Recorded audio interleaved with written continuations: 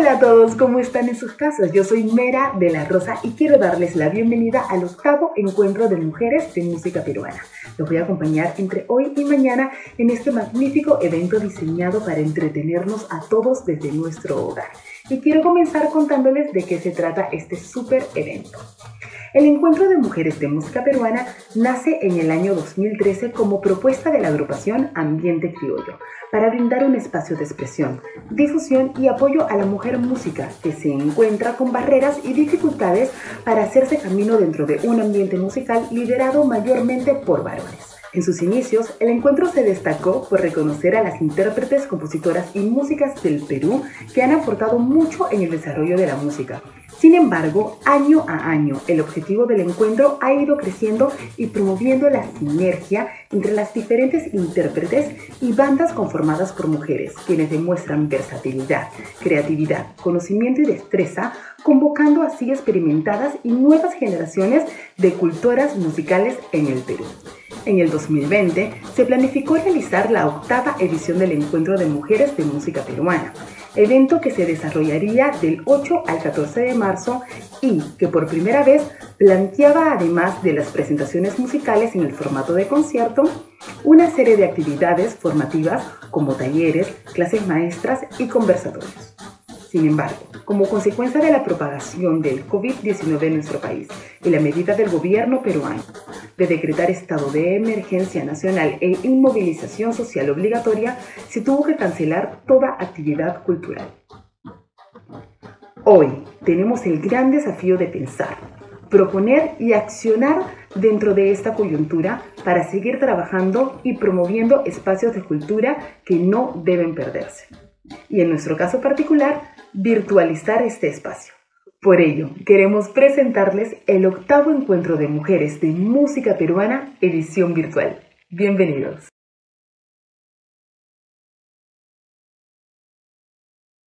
Vamos a dar inicio a este gran evento con una grande. Le voy a contar un poco sobre ella. Ella es actriz, educadora y directora de teatro peruana.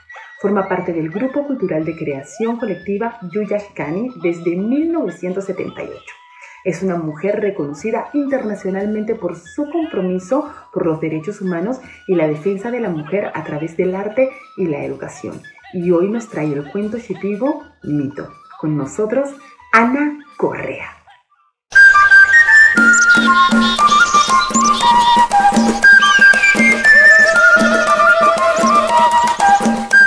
Cuentan que a un joven se le había terminado el tiempo acordado para encontrar compañera y tenía recelo de regresar a su comunidad porque sabía que todos se burlarían nuevamente de él. Los sapitos empezaban a cantar, dando la bienvenida a las primeras oscuridades de la noche, cuando de repente escuchó Pensándolo bien, dijo, prefiero las burlas a los colmillos de un otorongo. Se disponía a regresar por la trocha cuando de repente apareció una joven. Era realmente hermosa y vestía de una manera muy extraña, pero bella, totalmente distinta a las ropas de fibras de árboles que vestían su madre y su hermana. ¿Qué haces andando de noche? le preguntó ella. Me hice tarde buscando compañera, pero ya estoy de regreso. Por lo que veo, no tuviste suerte. No, y ahora todos se burlarán de mí. Nadie se burlará de ti si aceptas que yo sea tu compañera. ¿Cómo no iba a aceptar lo que ella le proponía? Feliz se colocó a su lado y empezaron a caminar por la trocha camino a su comunidad, alumbrados por el resplandor de las luciérnagas que ella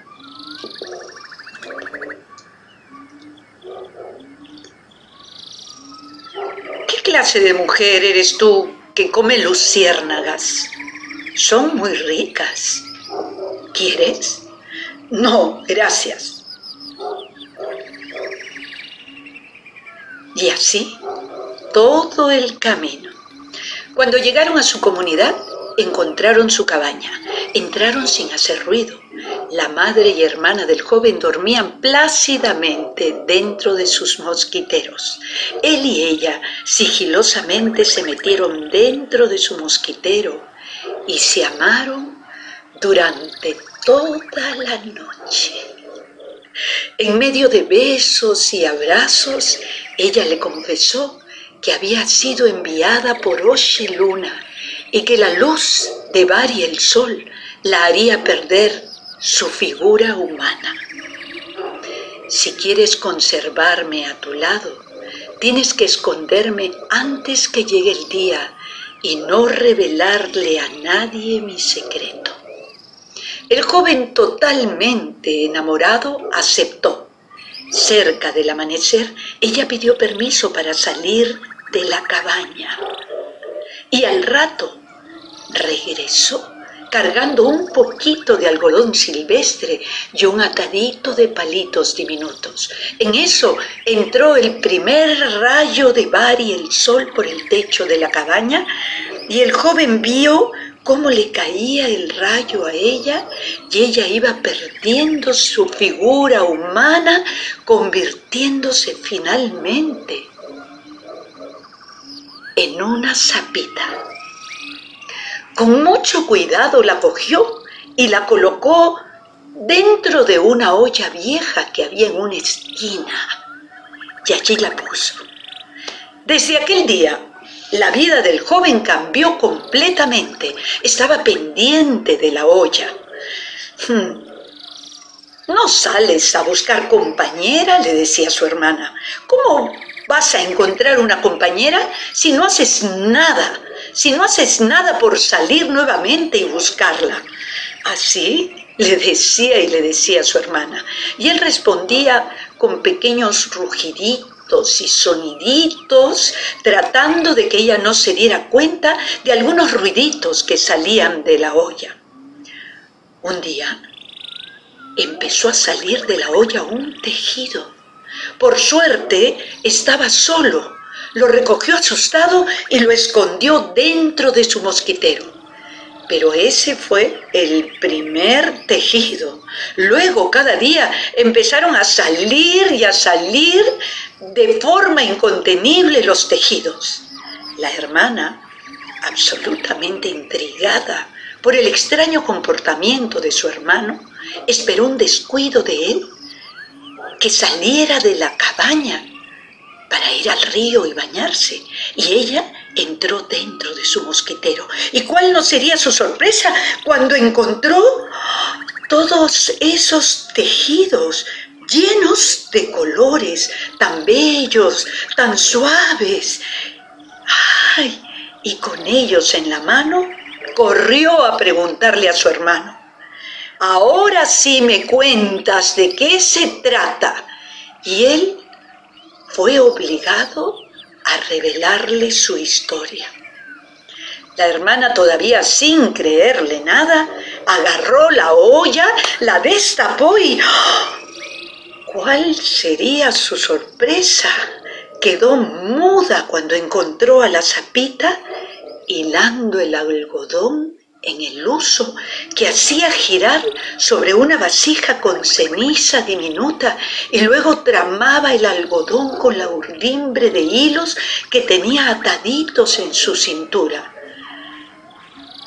Si guardas el secreto, te haré lindos tejidos para que reemplaces tu falda de fibra con mis telas pero si divulgas mi secreto, solo conseguirás alejarme de mi amado y tú lo perderás todo.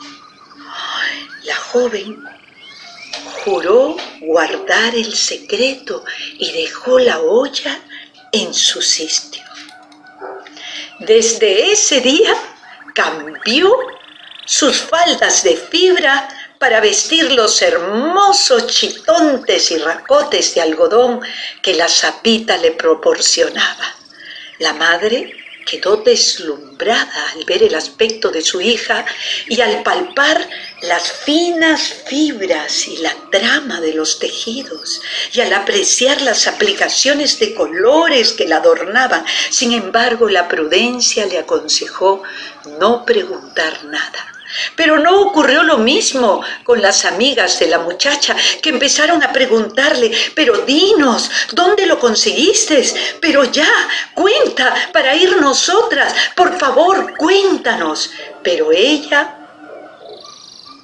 decidió cumplir su promesa y no contó nada de la extraña tejedora que encontró en la olla en su cabaña. Las amigas urden un plan, un plan como un tejido de complicada trama para averiguar lo que desean.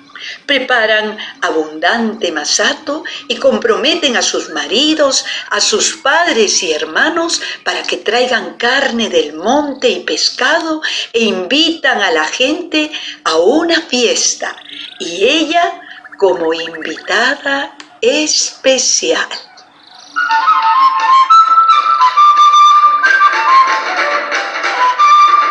La chica llegó vistiendo unas ropas maravillosas y no solo eso, sino además aretes, collares, pulseras durante toda la fiesta. Hombres y mujeres estaban pendientes de la homenajeada.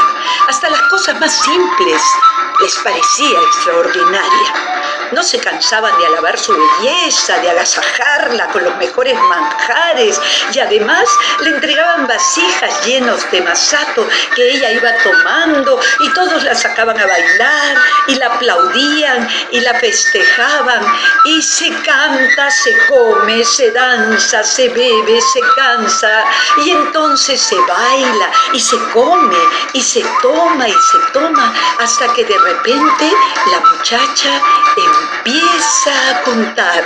Mi hermano camino por la trocha conoció a una de las hijas de Oche Luna, que se hizo mujer, pero cada vez que los rayos de Bar y el sol aparecen, pierde su figura humana hasta convertirse en una sapita que teje y teje y teje y teje.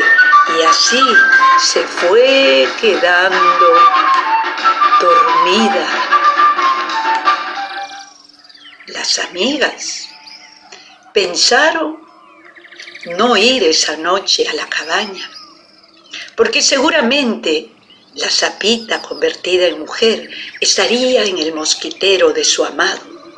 Pero al día siguiente, apenas aparecieron los primeros rayos de Bar y el sol, la turba de mujeres irrumpió en la cabaña atropellando a la anciana. Ubicaron la olla, se precipitaron, la destaparon y ya no la encontraron.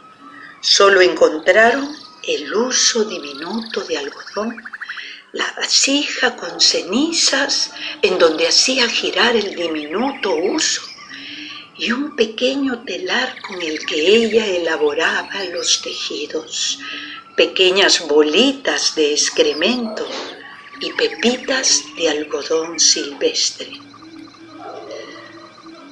Cuando le pasaron los efectos del masato a la muchacha, se sintió abrumada, pero ya nada tenía remedio. Su hermano había desaparecido por el bosque para no regresar nunca más.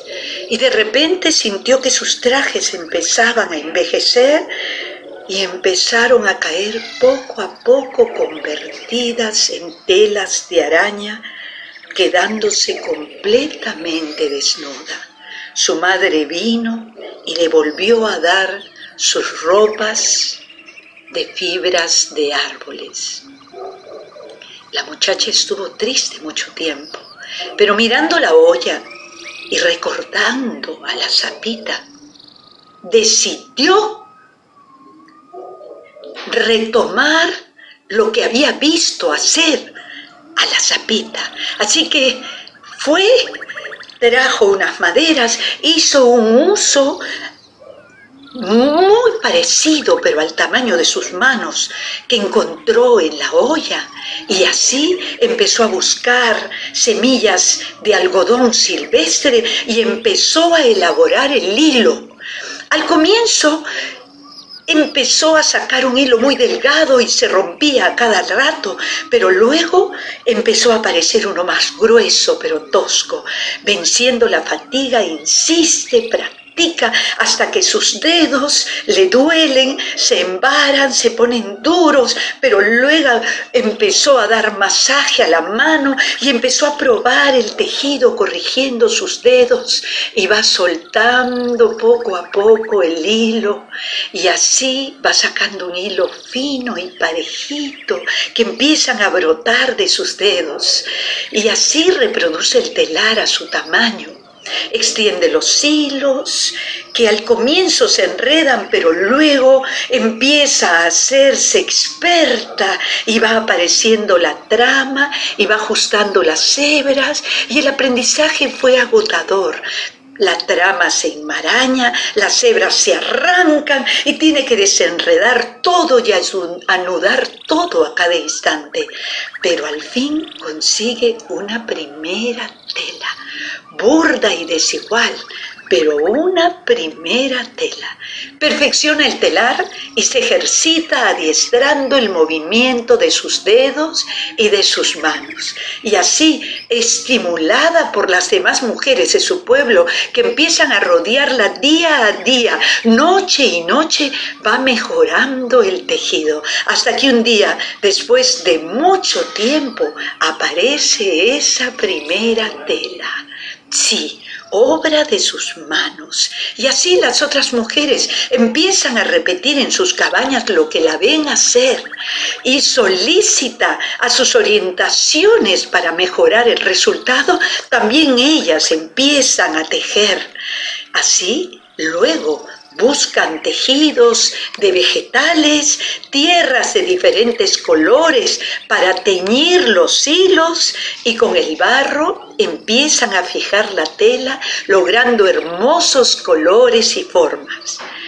Desde ese entonces, las mujeres, grandes y chicas, ancianas y muchachas, lucen lindas faldas tapados, incomparables, tapados como los que vieron aparecer mucho tiempo antes y vieron salir de la olla donde vieron tejer a la sapita que les envió Oche Luna a todas las mujeres chipivo cónivo para aprender a tejer. Thank you.